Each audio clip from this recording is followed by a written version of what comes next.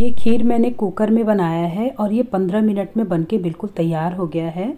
बनाने में इसको बहुत ज़्यादा समय नहीं लगता, लेकिन खाने में इसका टेस्ट बिल्कुल रबड़ी की तरह लगता है। तो एक लीटर दूध से मैंने खीर बनाया है। चलिए मैं आपको बना के दिखाती हूँ। तो मैंने एक चम्मच घी डाला है, देसी घी, कुकर को गर्म करके। और एक मुट्ठी चावल मैंने पंद्रह मिनट पहले भिगो दिया था। इसका पानी निकाल देंगे और इसी चावल में से एक चम्मच चावल मैं अलग से ले लूँगी और उसमें पाँच काजू डाल के भिगो दूँगी। इसको बाद में हम बिल्कुल इसका पेस्ट बना लेंगे।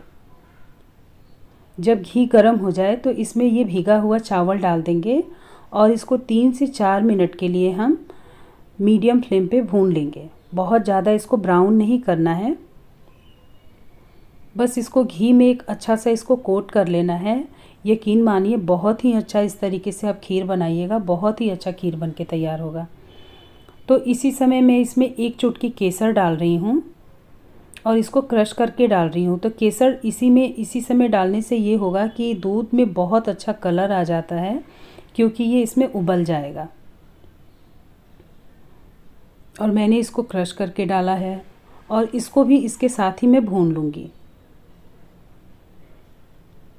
तो अब इसको भूनते हुए तीन चार मिनट हो गया है और इसका कलर भी चेंज हो गया है। जो पहले हमने चावल लिया था वो बिल्कुल वाइट था, बिल्कुल ऐसा। और अब चावल का कलर देख रहे हैं कि चेंज हो गया है।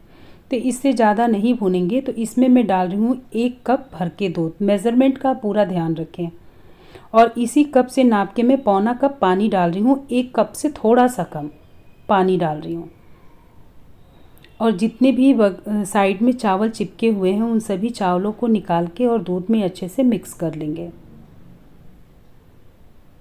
और जब तक इसमें एक उबाल नहीं आ जाएगा, तब तक हम इसमें ढक्कन नहीं लगाएँगे।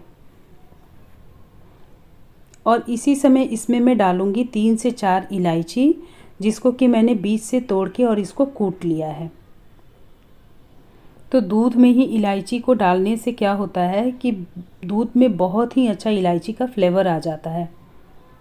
और जैसी ही सीटी लगेगी ना, छिलके के साथ ही हम इसमें डालेंगे जैसी सीटी आएगी तो आप देखेंगे कि इसकी जो खुशबू है, इतनी अच्छी आती है। तो अब एक उबाल आ गया है और इसको मैं बंद कर दूँगी और बंद करके दो सीटी केवल हाई फ्लेम पे लगाएँगे। दो सीटी से ज़्यादा नहीं लगाएँगे। और गैस को बंद कर देंगे। देखिए सीटी आने के बाद भी मैं दिखाऊँगी कि बिल्कुल भी सीटी से दूध बाहर नहीं आएगा। और ये जो काजू और चावल है, इसका हम बिल्कुल पेस्ट बना लेंगे। तो ये दूसरी सीटी आ गई है और आप देख सकते हैं कि एक बूंद भी दूध बाहर नहीं आया है।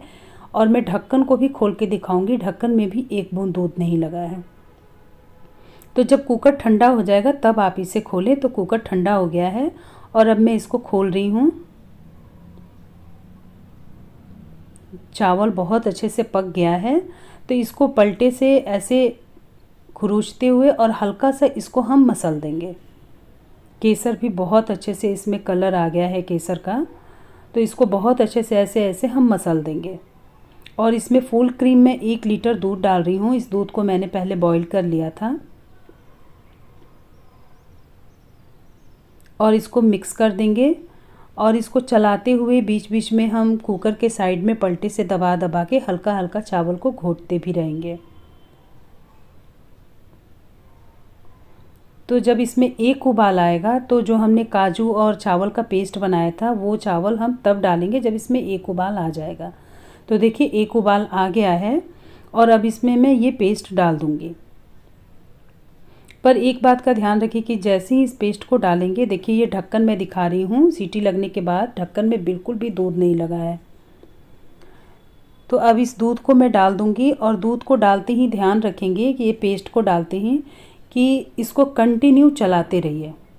अगर इसको छोड़ेंगे तो इसमें काजू था तो वो काजू नीचे चिपकने लगेगा। तो इसको जब तक इसमें एक उबाल ना आ जाए, इसको चलाते रहिए और बीच बीच में भी इसको चलाते रहिए। बहुत देर तक इसको ऐसे नहीं छोड़िए। अब इस खीर को पकने में बिल्कुल भी टाइम नहीं लगेगा। जैसे ही इस पेस्ट को डाला है आपने, ये खीर बिल्कुल गाढ़ी होने लगती है। और इसमें मैं थोड़ा सा ड्राई फ्रूट डाली हूँ, जिसमें कि काजू, बादाम, किशमिश है।